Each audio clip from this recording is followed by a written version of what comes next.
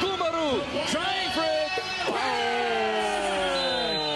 Donald Gumaro, ipinakita ang Never Say Die spirit at tinulungan ang koponan ng Barangay Hinebra para makuha ang kampyonato.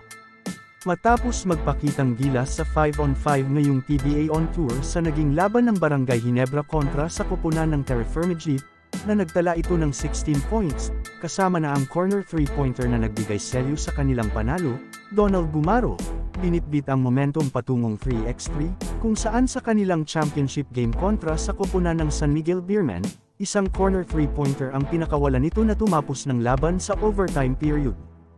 Nakuha ng koponan ng Barangay Hinebra ang kampyonato ngayong Season 3 Leg 1, at ito na ang kanilang ikalawang kampyonato sa kaparehong line-up matapos makuha ang Season 2 Leg 3 crown. Samantalang Jamie Malonzo, isang putback dunk ang ginawa sa kanilang tune-up game kontra sa Lithuania team, at heto panuuri natin ang video.